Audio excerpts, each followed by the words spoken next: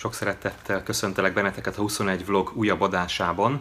Mai témánk sem lesz más, mint amit az eddigi, az elmúlt adások témái, vagyis a koronavírus. De ahogy az elmúlt adásokban is mindig arra törekedtünk, hogy egy más aspektusból, egy más nézőpontból vizsgáljuk meg a kérdést, úgy most is egy másik aspektusból, másik nézőpontból fogunk vizsgálódni, méghozzá belpolitika tekintetében. Arra keresem ma a mai adásban a választ, hogy milyen változásokat fog generálni a belpolitikára mindaz, ami most körülöttünk történik.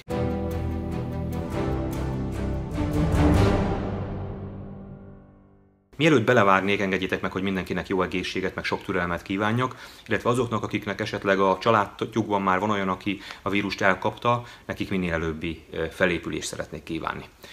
Na de vágjunk bele a mai témánkba, a belpolitikába. Én öt csapdahelyzetet gyűjtöttem össze, ahogy szoktam, most is struktúráltam a mondani valómat, ugyanis szerintem mindez, ami a belpolitikában most történik, vagy ami várható, az így vagy úgy, de mindenkit csapdába csalt, vagy csapdába ejtett.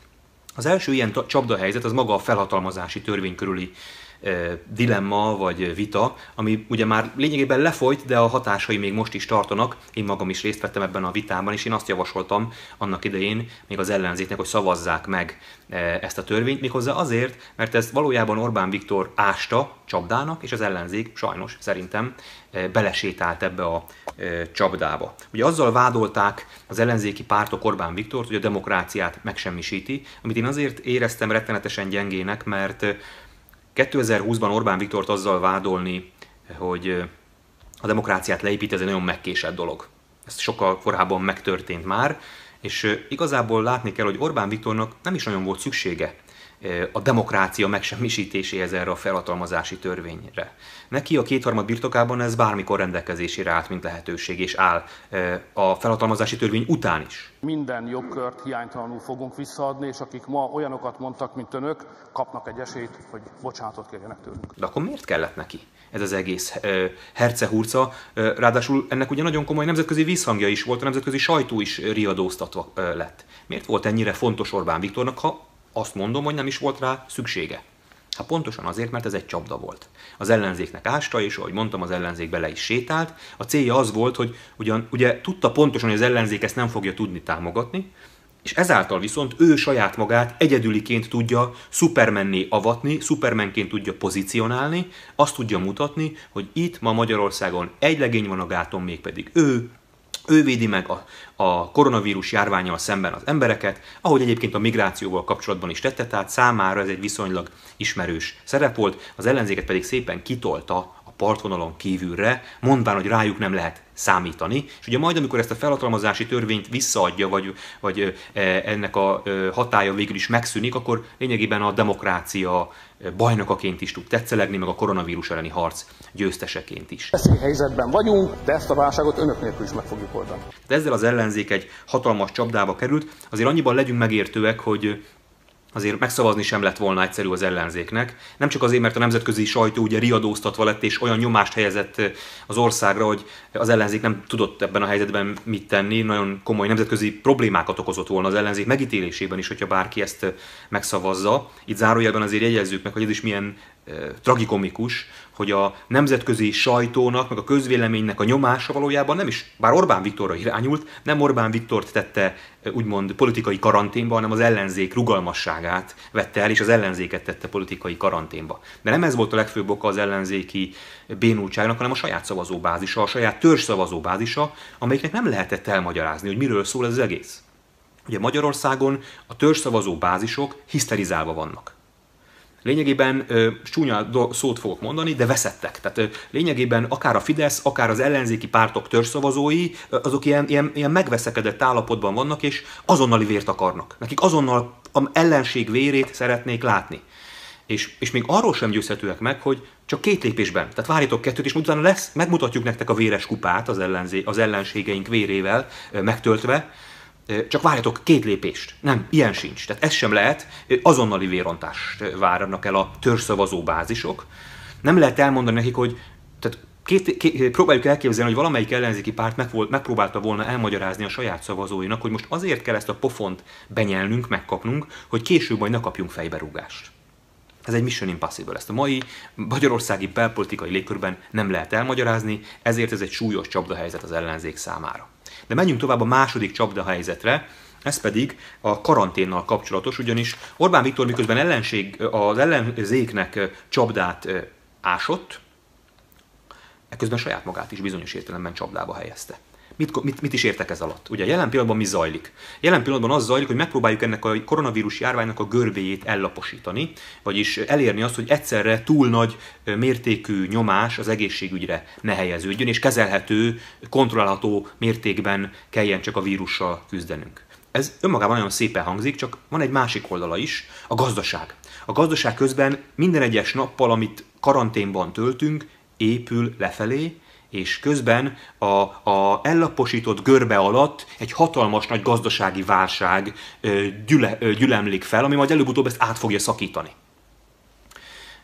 A gazdaság görbéjéről ugye senki nem beszél. Pedig 2008-ban az a válság, ami akkor ránk tört, hatalmas volt, nagyon sokan nagyon sok embernek ment tönkre az élete, a vállalkozása, kellett külföldre mennie, vagy akár lett öngyilkos ami most ránk vár, minden egyes nappal erősödik ennek a valószínűsége, még ennél is nagyobb lesz. És ezt Orbán Viktor is nagyon jól tudja, és ebben a helyzetben valamikor az életet majd újra kell indítani. De hát ebben a hisztérizált állapotban hogyan lehet újraindítani az életet? Kinek van meg az a politikai bátorsága, civil, nem civilként, hanem politikusként, politikai pártként, hogy azt mondja, hogy akkor kezdjük el az életet? Mit fog tenni a másik? A másik azonnal neki fog ugrani, és hisztérikusan azt fogja mondani, hogy gyilkos vagy, tönkreteszed az emberek életét, vására viszed a betegeknek és az időseknek az életét. Ezért senki nem fogja ezt természetesen felvállalni, vagyis napról napra ö, gyűlni fog, vagy nőni fog a gazdasági válságnak az esélye, lehetősége, de a Fidesznek majd ezzel kapcsolatban valamikor ez, ennek véget kell vetnie. Tehát el kell mondania azt az embereknek, hogy emberek, ez most véget ért, és kezdjük újra az életünket. Lesz, akik számára persze ez már nagy áldás lesz, nem csak azért, mert egyre türelmetlenebbek vagyunk, hanem azért, mert a, próbálja majd a gazdasági pozícióit, az életszínvonalát megőrizni, és már dolgozni akar. De másrészt a hisztéria is ott lesz az emberekben. Nagyon nehéz lesz a józanész hangján meggyőzni a társadalmat, hogy most már ne féljünk egymástól, most már nyugodtan kezdjünk el újra dolgozni. És milyen fura e, fintora a sorsnak, hogy majd a Fidesznek kell a józanésszel érvelnie a hisztéria ellen. Annak a Fidesznek, amelyik az elmúlt tíz évét a hisztéria keltésre építette. És az ellenzéknek pedig majd hisztériát kell keltenie, vagy hisztériát fog kelteni, amelyik eddig folyamatosan ezt kritizálta Orbán Viktorban. Szóval nehéz csapdahelyzet ez a második is, itt a karantén kérdése, és hát persze nagyon komoly indulatokat vált ki pro és kontra. És ha valakiben esetleg fölmerülne az a kérdés, hogy hát nem undorító-e az, hogy itt minden a politikában a hisztériakeltésről szól, annak azt tudom mondani, hogy de, undorító, de ha van bátorságunk feltenni ezt az első kérdést, hogy undorító-e hisztériára építeni a politikát, és erre a válaszunk az, hogy igen, akkor viszont legyen bátorságunk feltenni a második kérdést is. Mi a második kérdés? Hogy miért van ez így? És erre pedig a válasz az, hogy azért, mert ez, ez kell nekünk mert erre van igényünk. Akinek nem ingyen ne vegye magára, de sajnos az a helyzet, hogy Magyarországon azért zajlik mindez, mert az embereknek erre van igénye. Az embereknek e, e, a hisztéri, az emberek a hisztéria keltésre vevők. Egyszerűen bennünk van a hiba. Ha azt szeretnénk, hogy legyen más a politika, akkor nekünk kellene másnak lenni. Ez a helyzet. De menjünk tovább a harmadik csapdahelyzetre, ez pedig az előrehozott választás csapdahelyzete, mert nekem meggyőződésem, hogy Orbán Viktor előrehozott választásra készül.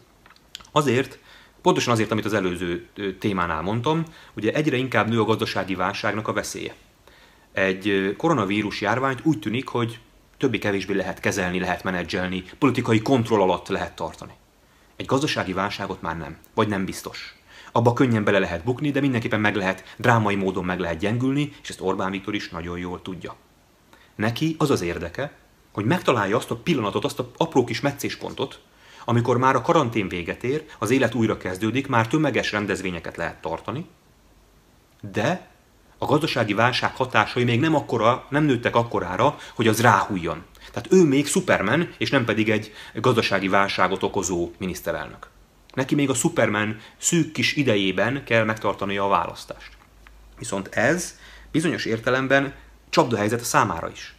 Tehát miközben nagyon logikus, hogy ő előrehozott választást tartson, nem beszélve arról, hogy az ellenzék sincs erre felkészülve, nagyon logikus, hogy előrehozott választást tartson, azért számára is ez egy dilemma. Hiszen, ahogy mondtam, minden egyes nap, amit ő szupermentként tud tölteni, az ellenzéket partvonalon kívül helyezi. Ez egy, ez egy elképesztően jó pozíció a számára. Folyamatosan bénítani tudja az ellenzéket.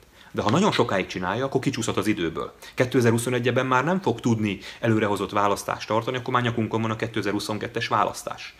Neki tehát minél hamarabb ki kell jönnie ebből a karanténhelyzetből, amiben egyébként annyira jól érzi magát.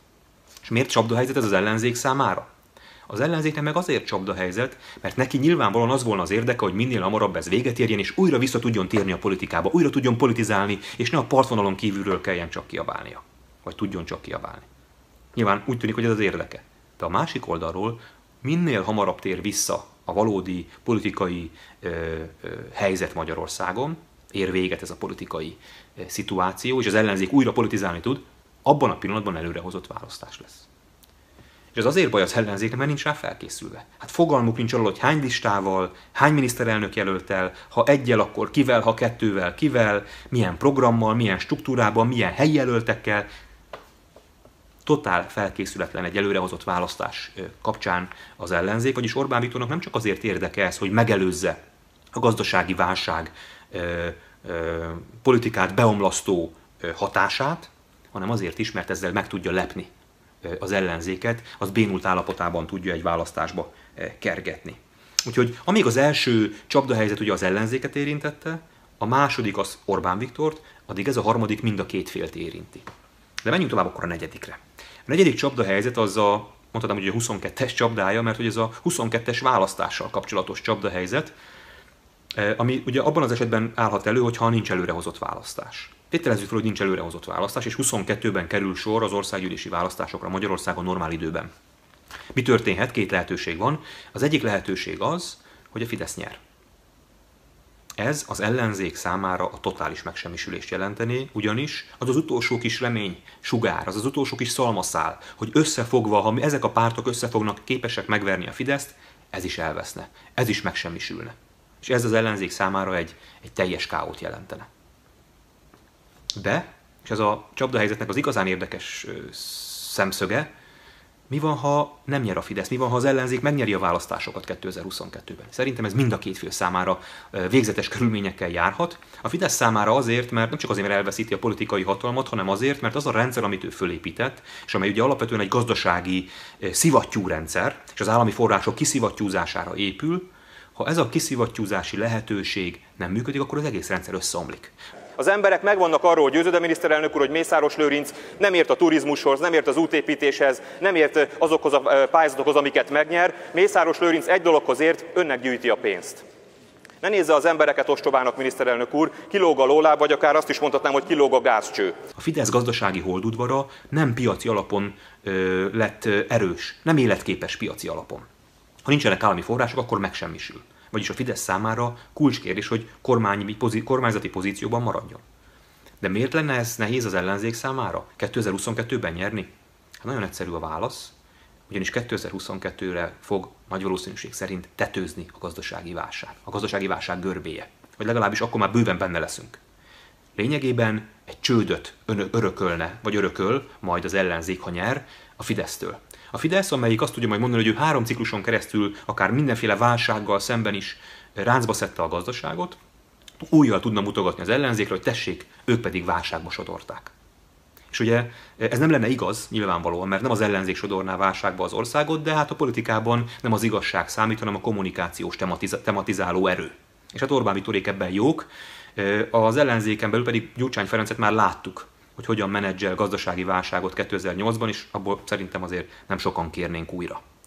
De nem csak ez a baj az ellenzék szempontjából a, az előrehozott választásokkal, hanem azért is nagyon súlyos probléma lehet ez neki, nem csak a ránehezedő gazdasági válság eh, miatt, hanem azért is, mert eközben, bár a Fidesz rendszere, ahogy mondtam, meggyengülne, de azért a, a médiában, a gazdaságban, a kereskedelemben, a jogba, a jogi rendszerünkben, nagyon sok mindenben olyan pozíciókat őriz, amivel nagyon nehéz lehet szemben kormányozni. Vagy nagyon nehéz lesz majd szembe kormányozni ezzel az ellenzék akkori kormánypártá vált részének. Vagy kormányá vált részének. Szóval a 2022-es választás csapdája egy 22-es csapda, amely mindenkit érinthet. Ez nagyon izgalmas kérdés, hogy mi lesz persze, de mivel az időnk alatt hagyd térjek rá az utolsó csapda helyzetre, hogy eddig beszéltem mindenféle politikai, pártpolitikai szempontú csapdákról, dilemmákról, de végül a saját magunk csapdájáról szeretnék beszélni, a társadalmi csapdahelyzetről. Mert hogy nem csak a pártok, nem csak a kormánypártok és az ellenzéki pártok vannak ilyen vagy olyan csapdában, hanem mi is, a magyar társadalom is.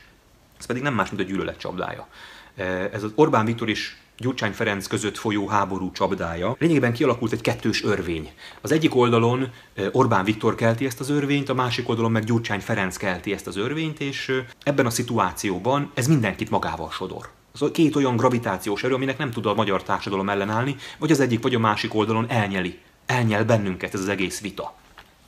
És ugye csak zárójelbe hagyd tegyem hozzá, hogy Gyurcsány Ferenc sem akar más. Tehát az ő általa keltett örvény nem más, mint amit Orbán Viktor kelt. Nézzük meg azokat a kommentelőket, akiket rászabadít Gyurcsány Ferenc a számára kiválasztott vagy ellenségnek tartott személyekre, többek között rám is, az én oldalamra is. Ugyanazzal a gyűlölettel jönnek elő ezek a kommentelők, mint a Fidesz kommentelői. Miért gondoljuk azt, hogy aki már ellenzékben ezzel a gyűlölettel dolgozik, az majd kormányra kerülve demokráciát, összefogást, megbékélést akar építeni?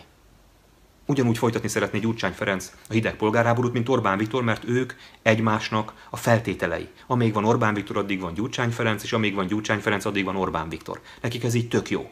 És ebben az örvényben lényegében mindenki elmerül. Az a baj ezzel, nagyon sok baj van ezzel, az egyik baj, hogy ebben az örvényben nem lehet elmagyarázni a problémákat. Aki megpróbál árnyalatokban beszélni, vagy megpróbál problémákat megoldani, azt, azt, azt beszippantja ez az egész. Még fölvetni sem lehet a problémáinkat, nem hogy megoldani. Pedig nem ez a törésvonal Magyarországon. Magyarországon nem Orbán Viktor és Gyurcsány Ferenc van a törésvonal, hanem Orbán Viktor és Gyurcsány Ferenc van a törésvonal egyik oldalán, és vagyunk néhányan a másikon, akik szeretnénk, hogy ez az egész véget érjen. Csak az a baj, hogy olyan hangerővel zajlik ez a két törvény, olyan hatalmas a két oldal veszettjeinek a hangereje, a csinadrattája, hogy azok, akik sehová sem tartoznak, egy idő után elbizonytalanodnak. Kezdik azt érezni, hogy lehet, hogy bennem van a hiba. Hát itt olyan hangerővel zajlik ez a csata Gyurcsány Ferenc és Orbán Viktor között, hogy, hogy és miközben én egyikhez sem tartozom, lehet, hogy bennem van a hiba, hogy, hogy, hogy, hogy egyik oldalhoz sem akarok odaállni. És akiben nincs meg a kellő politikai önbizalom a saját gondolkodását illetően, azt előbb-utóbb beszippantja ez az egész. Vagy az egyik, vagy a másik oldalon. Mert hogy az ember vágyik arra, mindannyian vágyunk arra, hogy valahová tartozzunk. És ha valaki ma belga, ugye, Magyarországon, egyik oldalhoz sem tartozik, akkor, akkor ez egy kellemetlen dolog. Mert nincs harmadik oldal, nincs ma harmadik pólusra lehetőség, olyan erővel zajlik ez a hatalmas nagy örvénylés, a, a gyűlölet, a kétoldali gyűlöletörvény, hogy a veszettek viadala, hogy ezt, ezzel szemben nem lehet harmadik pólus képezni. Azért valljuk be, az elmúlt évtizedekben vagy ciklusokban lényegében két politikus kísérelt meg harmadik pólust képezni, eh, amelyik sem Orbán Viktor, sem Gyurcsány Ferenc szolgálójává nem akart válni. Az egyik az eh, Sifer András volt, a másik pedig én.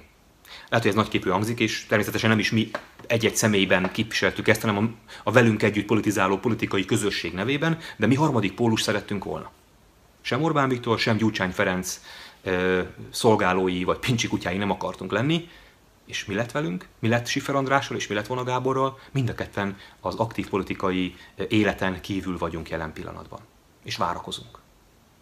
És meg kell nézni, hogy eh, milyen megítélése van Sifer Andrásnak, és milyen megítélése van Vona Gábornak. A fideszeseknek mi gyurcsányisták vagyunk, az ellenzékieknek, ellenzékieknek meg Orbánisták. Ugye ebben a két dimenzióban tud, a, a, a két oldal veszettjei csak ebben a dimenzióban tudnak gondolkodni. Vagy Orbán Viktorhoz tartozol, vagy Gyurcsány Ferenchez. Az, hogy valaki egyikhez sem tartozik, az elképzelhetetlen. Tehát ma Magyarországon nincs meg az a kritikus tömeg a társadalom tekintetében, ami egy ilyen harmadik pólusnak a lehetőségét felkínálna, és ez egy őrült nehéz csapdahelyzet. És ebben az őrült nehéz eh, csapdahelyzetben mm, egyszerűen nem tudunk mit csinálni, mint várunk. Nincs most itt az ideje egy ilyen harmadik típusú politikai konstellációnak, mert ezt elnyelni ez a két örvény. Ez az elmúlt évek tapasztalat, hogy elnyeli a Gyurcsány örvény és elnyeli az Orbán örvény az önálló kezdeményezéseket. Egyszerűen nem azért, mert nincs rá alkalmas ember, aki ezt megcsinálná, hanem azért, mert nincs rá társadalmi igény. A társadalmi igény, ami erre van, minimális. És amíg ez a társadalmi igény minimális, nincs meg a kritikus tömeg, addig ilyen jellegű pólus nem fog képződni, vagyis nem tudunk más tenni, mint hogy várunk. Én is ezt teszem, várunk. Várunk arra, hogy a koronavírus véget érjen, és felszabaduljunk, és kimozdulhassunk, és várunk arra, hogy a gyűlöletörvény is véget érjen, és végre politikailag is felszabadulhassunk, és végre másról is lehessen beszélni, ne csak Orbán Viktornak, meg Gyurcsány Ferencnek a, a lázálmairól és a, és a beteges páros küzdelméről. Ezt a kettőt várjuk, de természetesen a ölbetett kézzel nem szabad várni. És én is azt gondolom, hogy a, amíg ez a várakozás zajlik, akár a koronavírus idején, akár a politikai gyűlölet örvénylése idején, meg kell próbálni értelmes, tartalmas dolgokkal tölteni az időnket, hasznos dolgokkal. Sőt, tovább megyek, nem hogy értelmes dolgokat kell tudnunk csinálni, hanem értelmesebb dolgokat kell tudnunk csinálni, mint amit ma a politikában lehet. Ma a politikában azt lehet mondani az egyik oldalon, hogy O1G, a másikon meg, hogy Gyurcsány hazaáruló. Ennek semmi értelme nincs már. Sehová nem vezet. Úgyhogy valami mást kell és értelmesebbet kell ennél csinálni, és szerintem ennek a lehetősége ma sokkal inkább a civil szférában van meg, azzal a, abban a meggyötört, meggyengült civil szférában, amit lényegében újra kell építeni és föl kell építeni, és ez nagyon sok ember kell. Amíg a többi csapdahelyzettel, a politikai csapdahelyzetekkel nem tudunk mit kezdeni, ezzel a társadalmi csapdahelyzettel viszont igenis tudunk. Igenis felelősségünk, hogy, hogy emeljük ki magunkat a saját nyakunknál fogva ebből a társadalmi csapdából, és lépjünk ki ebből a Gyurcsány-Orbán gyűlölet gravitációból, a veszettek viadalából, még hogyha ezt a veszettek viadalát nem is tudjuk most megakadályozni, nem is tudjuk kinőni, nem is tudjunk fölénőni, ennek a veszettek viadalának meg kell majd történnie, vagy előrehozott választáson, vagy a 22-es választáson, de addig sem tehetjük meg, hogy tétlenül üldögélünk, és csak nézzük az eseményeket. Nagyon sok nemes és jó cél van Magyarországon, nagyon sok szempontból lehet küzdeni Magyarországon a második reformkorért. Én ezt próbálom tenni, erre bátorítok mindenkit arra szeretnék mindenkit bátorítani, hogyha úgy érzi, hogy számára egyik gyűlölet örvény sem szimpatikus, és már-már valamelyik szippantaná be, ne engedje, ne hagyja. Próbáljon meg autonóm maradni, próbáljon meg távol maradni ezektől a gyűlöletörvényektől, próbáljon nem veszetté válni, és sokunkkal együtt, sajnos nem, ele, nem vagyunk elegen, de talán remélem, hogy azért sokan vagyunk és egyre többen, várni a megfelelő pillanatot arra, hogy mind a koronavírus, mind a politikai gyűlöletörvény véget érjen. Ezek voltak a mai gondolataim. Remélem, hogy sikerült néhányatokat ezügyben további gondolkodásra ösztönözni, ugyanis mindig ez a célom, ennek a vlognak lényegében ez a missziója. Nem az, hogy egyetértsünk, hanem az, hogy gondolkodjunk és beszélgessünk és kulturáltan folytassunk vitát egymással.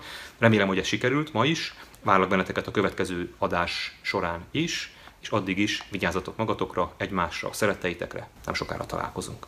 Sziasztok!